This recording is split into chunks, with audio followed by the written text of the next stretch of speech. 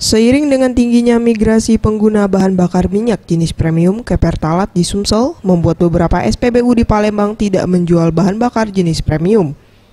Tercatat di Palembang ada 4 SPBU di Palembang yang tidak menjual BBM jenis premium terhitung 1 November 2016, yaitu SPBU Koko Golf, 1 SPBU di kawasan Pelaju, SPBU Grand City, dan 1 SPBU yang berada di kawasan Polda. Hal ini sesuai dengan keinginan pemilik SPBU itu sendiri, dengan alasan pengguna Pertalite lebih banyak dibandingkan pengguna premium.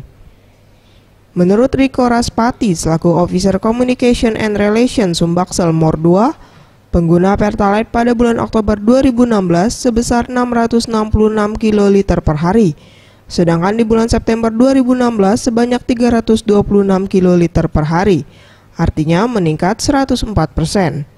Sedangkan pengguna untuk premium di bulan September 2016 sebanyak 1.809 kiloliter per hari dan di bulan Oktober 2016 sebesar 1.435 kiloliter atau menurun 21 persen. Perubahan konsumsi bahan bakar yang terjadi di Sumsel dikarenakan tingkat kesadaran masyarakat terhadap kebutuhan mesin kendaraan dinilai cukup tinggi. Kami mencatat bahwa baik itu premium, baik itu pertalite, baik itu pertamax, semuanya adalah produk yang kami ciptakan dan harus dijual. Jadi tidak ada alasan bagi kami untuk menahan seperti itu. Semuanya harus dijual kan. Nah, oleh karena itu apa yang dibilang bahwa oh, nanti lama-lama premiumnya dihapus itu enggak kok. Tetap Pertamina akan tetap menyalurkan sesuai dengan permintaan masyarakat.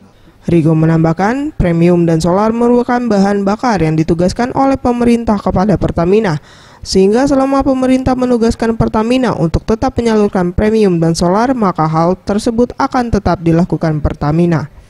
Mega Dwi Handayani, Anugerah Sandi Pratama, Sriwijaya TV.